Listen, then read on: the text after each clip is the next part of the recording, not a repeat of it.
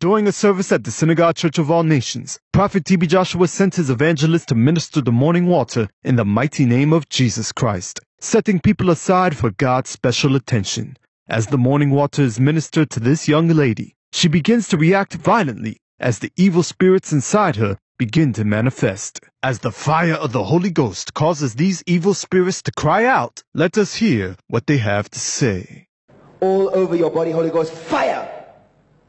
You wicked evil spirit, all over your body, Holy Ghost, fire right now! Who are you? Stop that nonsense! Stop that nonsense! Who are you? How have you destroyed her, you demon? How have you destroyed her? Took away her hair. You, you did what to her hair? I took it away. You took away her hair. Okay, what else have you done to her health, her body? What else have you done? And she's always sick, so she can't go to school. I made her bleed through all her openings, and she can menstruate for 33 days. Okay, you said you made her bleed through where? Where does she bleed from? Huh? Her eyes. You made her bleed through her eyes. Yeah. Why? Why did you do that, you demon? Because I don't want her to watch that. You don't want her to watch what? Your TV. Which TV? That one. Which TV? What are you talking about? On TV. Every time she wants to read her Bible, she gets a headache. So then she can't read it, and then every time I. So anytime she wants to read her Bible, you demon, you make her bleed through her eyes. And, and, and, and like she lays her hands on the TV, and then she prays with that man. Wh- wh- which man? And that one, your father. Okay. So we are seeing here. Do you mean this is how you make her bleed through her eyes on the pictures here? I already know. I'm the one who caused it. Because you're always doing this to me. You send it through all, over the world, and you want it to other people, and it's not gonna work. It's not gonna So you work. I demon, know it. you are the one that I has have it in caused my her. house, and you, you just do it. Listen, what made you to cause her to bleed through her eyes? Why? Because she wants to read her Bible. Because she wants to read her Bible. And, Okay. she's, and she's always reading. And she like opens and she reads Isaiah 11 too. And telling herself that God will comfort her. What happens to her in school? She never studied from like the first time she started until today. And she's always getting high marks. So then uh, I made her see like these funny creatures. And the, the words, when she reads them, they fly off the page. Okay, so you make her to see funny creatures in her school so she cannot study and concentrate. I torment her because people call her crazy, but she's very intelligent. I don't want her to work for your God. So then, like, I send her people, like perverts, and then, like, they show, they show her, they show her like a penis, and some of them rape her, and it's like. I don't want her to serve, you know. I don't want her to do anything good. What have you done to her family? The first job that mom liked, she got sacked because she was going to pay for her school fees. Okay. And then she got sacked and she lost her job. And now, like, the sister has to go and work so that she can look after her and look after the whole family because the mom is always praying and she's exhausted from praying so much. Okay, who is this lady standing beside you? Who is she? Look here. Who is she? I she? know who she is. Who is She's she? the- She's the one who took her here, and they struggled from the airports all the way here. Who is this young lady to you? She's my daughter, sir. At the age of eight, she was raped, and then she didn't tell any of us. She didn't even tell me, her mother. Then at the age of 12, then she started to see this, we started to see this blood coming out. But for me, as the mother, yes, she, would she, would- she would coming out from hide. It was coming out from her eyes. Then it would come out from her nose. It would fit like a coffee mug. Every time it drops down, then we know that the next thing that's coming, she won't be able to see any word in her uh, school books. The next thing, the school is going to ask us to remove her from the school. Three, three different schools. So right now, we've put her completely off school because no school wants to accept her. all the doctors everywhere they see nothing they say there is nothing wrong with her eyes there is they see nothing they and they can't help they don't have a remedy for this Okay, so it's beyond medical comprehension Yes, that sir. someone can bleed through their eyes. yes sir yes sir they say it's, it's no doctor could diagnose her with any even the university it, no no way everywhere we've taken her And the demon also said it took her hair. What can you say? the hair just started to fall off because um, she was saying, I'm stressed, I'm stressed, I want to go back to school. And then we tried to give her a book to read. She says there's nothing in the book. Then the hair started to fall off and it left patches. So you can't even do anything. Then she quickly took her scissors herself and she cut it all off. Uh, what is the name that people call her in the community because of this stigma of her eyes bleeding? Um, they just say because I am the one who, who is a witch. Now I'm teaching her these things. And we've lived our lives in prayer, like completely in prayer. So people are accusing you They are and accusing. the whole family because yes, of her. and then they just chase her out. They say she's going to spread the, the demon of witchcraft in the schools. So now it is time for her to receive her deliverance. You demon, how did you enter this body? How did you enter her? I entered through a lot of things. People were jealous because she was intelligent. Somebody stole her school shoes, somebody stole her school books, and everybody just comes and they steal things from the family because the family is so rich. And they some some of the things they don't notice. And they go and they take their pictures and they put them in the in, on the water and they put them on trees and they strap them and they say we're gonna gonna get their riches and now they're very poor and they use their lost money to come this side. Once again, who are you in this body? We're many. We are many. Okay, but who are you? Your name. Who are you? spirit of death. Spirit of death. Right now, you wicked demon, it is your time to leave this body and everything you are planted within her. In the mighty name of Jesus Christ, get out of her right now. You must go. Get out of her in the mighty name of Jesus Christ. You're back on the floor. You're back on the floor. You must go. In Jesus' mighty name.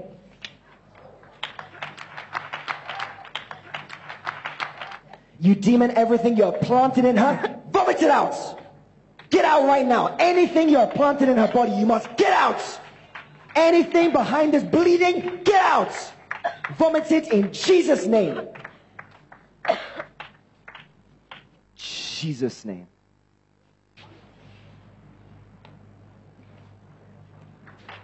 Rise up, sister. You are free through the morning water in the mighty name of Jesus Christ. Rise up right now. You are free in Jesus' name. Congratulations, you are delivered in Jesus' name through the morning water. And who, who is, Thank you, who- Jesus. who is she to you? Who, who is this lady to you? It's my mom. She's your mom. So, madam, your daughter is free. The spirit that caused her to bleed through her eyes, that took her hair, it is out. Thank you, and she's Jesus. free in Jesus' name. Thank Never remind her of her past. She is free. Thank you, Lord. Thank you, Jesus. Thank you, Jesus.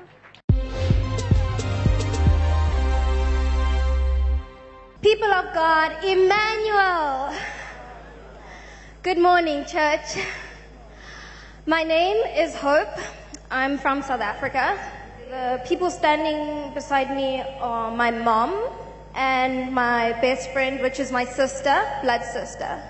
The problem that brought me to the Synagogue Church of All Nations was that I had um, I, I started bleeding from all the openings of my body, which included my eyes, nose, mouth, and um, my ears, as well as sometimes on my arms, my pores would open and I'd start bleeding um, in random places at random times. Okay, well, it started in 2011.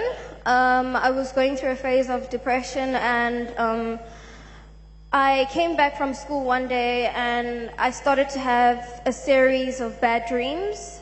Every time I'd come back from school on afternoons, I'd take a, um, an afternoon nap and then I'd fall asleep and then I'd have terrible nightmares where I'd dream people were um, trying to break me apart. Some people would um, sleep with me, but in a very vigorous way. Um, I'd dream of um, irregular shapes and um, people with like eight arms and six eyes, and they'd be running after me, and um, it, it just went on. And eventually I started to see these things, and I couldn't sleep. I fell into depression. Um, I also started, whenever I was sleeping, I also started to sweat excessively. And um, after that happened, my eyes would swell. And the first time it happened, it happened on my right eye. And um, I just started bleeding. I woke up and my pillow was red, and I didn't understand what had happened and where it came from. I didn't, I'm not a person who tells everybody everything, so I kept it to myself. It happened again in 2013 on both eyes this time, and my auntie was there, and she um, she saw it happening because immediately when it happened, I removed the pillowcase off the pillow and I ran to the washing machine to go and try and wash it off before someone else could see it. And my auntie stopped me and she said, What's all of this? And I, I started crying and I told her everything. But every time I cried, I would cry blood and she saw it and I asked her, I begged, I pleaded with her and I told her, please don't tell my mom because I, I don't want to scare her, I don't want to worry her, and so on. So in 2015, it happened every um, six to eight weeks. And it started from July, June, and um, it just continued. Now, this time it was coming out of my nose, out of my eyes, out of my ears, and um, I, I started to get more and more depressed. I took a picture of it and I took my phone and I put it under the pillow, hoping no one would see it. My sister woke up one morning and she wanted to borrow my phone. She saw the pictures, she told my mom. I confessed everything, I cried. Um, I was in a very miserable situation. And eventually, what had happened, um, a, a, whole lot of things, terrible things happened after that. Um, I started to menstruate for about 40 days. Some days I'd skip like two days and then I'd menstruate for another 40 days. It would just go on. Wow, glory be to Jesus Christ. We can see she's overwhelmed by emotions of joy because she knows that this is now her past. Since she came to the Synagogue Church of All Nations, Jesus Christ set her free from this terrible, excruciating condition, which she explained that anytime she would sleep, she would have terrible nightmares. Different kind of creatures would try to kill her and tear her apart. And when she woke up from those dreams, she would find herself crying blood physically from her sleep. And as she woke up with these conditions, it started affecting different kinds of problems in her life. Her menstruation became irregular. In fact, it was so much that she could even menstruate for 40 days in a row. And this definitely had many different kind of physical consequences in her body. So can you just tell us how did this uh, problem affect you both physically, spiritually, and emotionally and socially more than anything else? Um, every time I, I wanted to go to school, and it happened six times. And um, I told my one of my friends, and um, she saw it happen in the toilet, and I told her to tell to excuse me from class that day. And um, it happened again, but it was in class, and people were running away from me. They started to call me a devil child. Um, they said um, I was evil. And some people thought that um, the condition I had was contagious. And it affected me so much so that um, I was eventually kicked out from school. I couldn't continue anymore.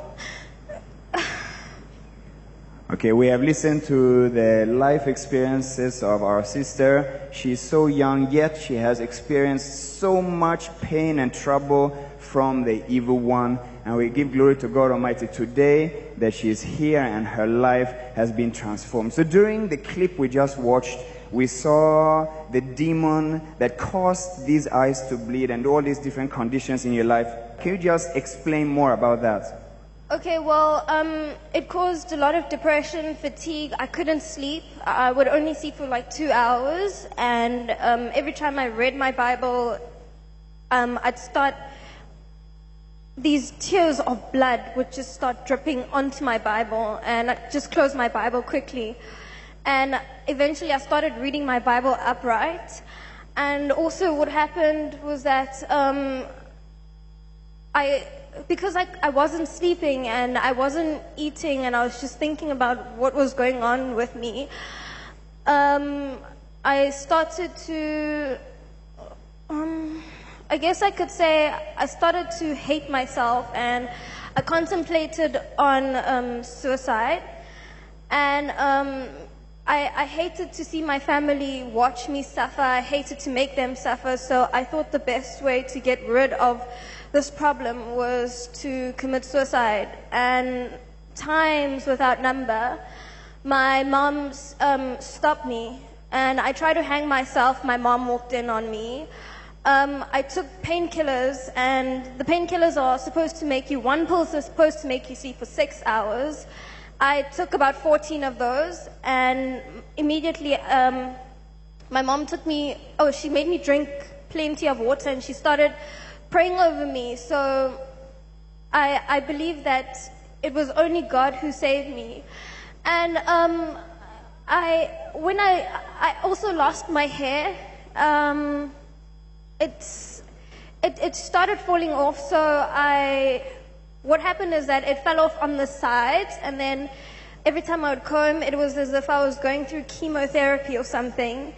And um, I hid all the pieces of my hair um, under my cupboard, and some of it I, I just cut it. And I told my mom that I was styling it when I knew what was going on. Eventually, my hair fell, and my mom told me. Um, something is really wrong. You need to tell me the truth. And I, she, she found out that my hair started falling off because she, she could see it on my shoulders. And um, it just affected me spiritually because, you know, every time I read my Bible, I couldn't read. Um, mentally, I was not thinking. I was just, I stopped thinking. I started thinking about one thing, nightmares, uh, physically, I lost weight, I became pale. The demon also caused me to be molested by people I did not know.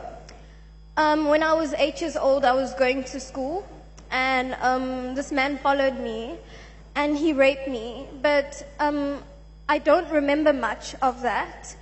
When I was about um, in 2012, um, again, I had a a friend, and we were together, and he offered me um, cookies, but um, I didn't know what was in there because I thought he was my friend. So I ate them, and immediately I fell into sleep, and I realized that he actually raped me, and he took me home, and he lied to my auntie that um, something had happened to me, and he found me.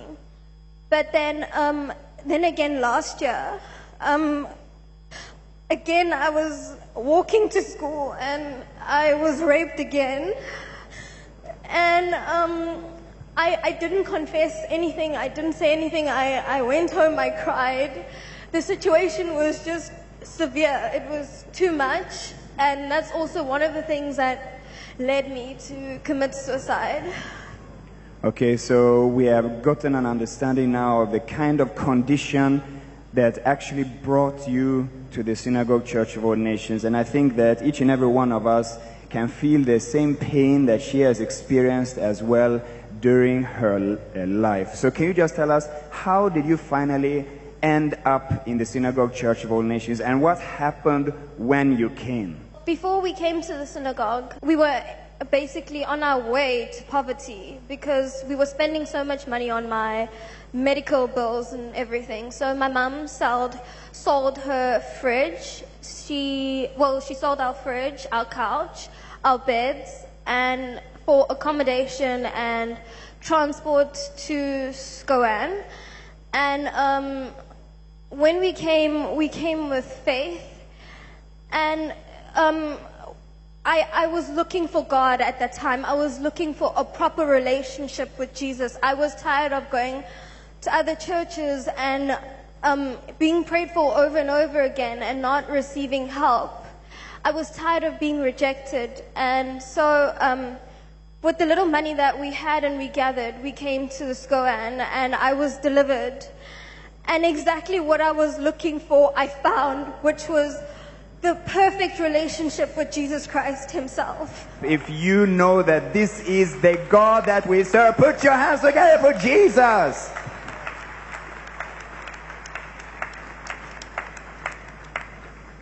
So that was how you received your deliverance at the Synagogue Church of All Nations. And can you now tell us, we are all eager to hear, after your deliverance, we understand that deliverance happened some time back, a couple of months back. Can you tell us, after your deliverance, how has your life turned around? Start with the physical aspect, spiritually, emotionally, and socially. Okay, um, in terms of physically, um, I have received so much rest in my spirit, in my soul, in my body, spiritually, physically, mentally. Um, I'm just so revived. I'm on fire for Jesus, you know, because I believe what had happened to me is now. I, I, I thank God that it has happened because it has brought up a new me, you know? And.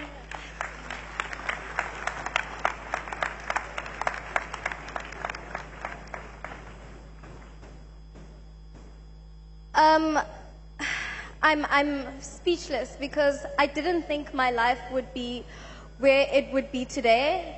And um, we regained everything in double double. And my health, double double. Hallelujah. Let's put our hands together for Jesus Christ. So many people are sitting down, they want to understand do you mean now after your deliverance? What about the bleeding eyes, the nightmares, the hair falling off, and so on? Are you still experiencing these kind of things? Okay, um, my eyes have stopped bleeding. I was just crying two minutes ago, and my eyes are crystal clear, and I'm a happy child. Whenever I cry, I look at my tears and I say, Thank you, Jesus. It means the world to me. Whenever I'm blowing my nose, I look at my snot and I say, Thank you, Jesus. Uh, when I cough and I want to cough out mucus or phlegm, I cough it out and I say, Thank you, Jesus. It is crystal clear. Um, in terms of my health, um, I'm, I'm back to the way things were.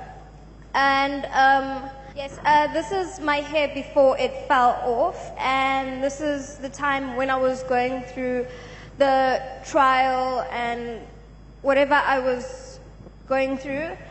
And as time progressed, my hair has actually come out much thicker and healthier. And the people who are doing my hair in the salon are always telling me my hair is too great. And I thank Jesus for that. And this is a recent picture of what my hair looks like. And um, My deliverance was exactly last year, round about this time, which means this is truly a miracle. God has just done it all for me. Thank you, Jesus. In terms of my menstruation, well, um, everything is back to normal. I menstruate from three to four days, whereas before I could menstruate for 30 days or 40 days straight. And um, this is actually the first year where I haven't experienced any form of perversion in my life. No one has um, tried to sexually harass me in any form or manner from the time I was eight up until last year, I would see people who would just, or I would come across people who would have urges to just do things to me, but Glory to God, this year has come and gone, and there's nothing whatsoever like that. Emmanuel Church. My name is Tuli from South Africa.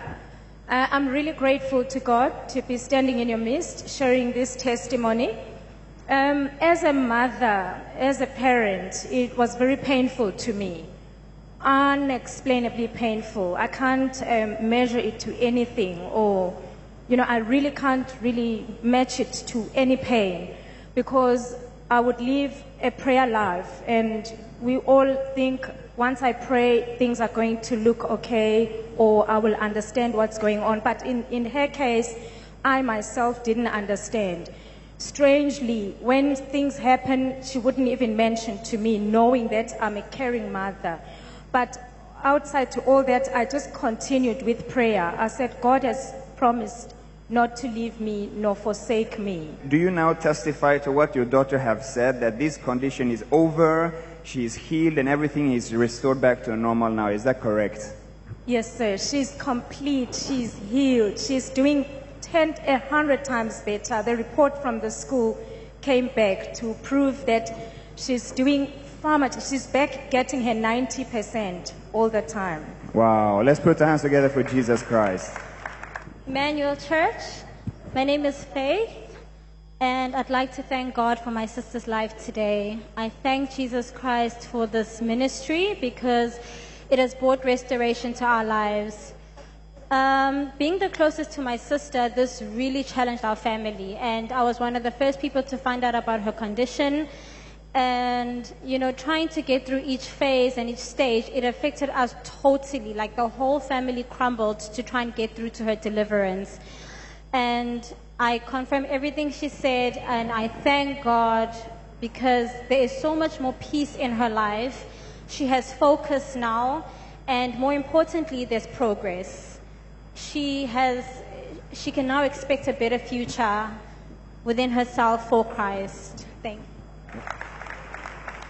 So finally now, my sister, there are many young people out there that are listening to you right now. They may be passing through depression. They may be passing through thoughts of ending their own life. They may be passing through similar conditions or other conditions that are also very tough to bear with. Can you just give a word of advice to them right now? To viewers all over the world, young people, cast your cares on Jesus because he cares for you. No matter your situation, God still has something to say. Your situation may be as bad as mine, or even worse, or slightly not so bad.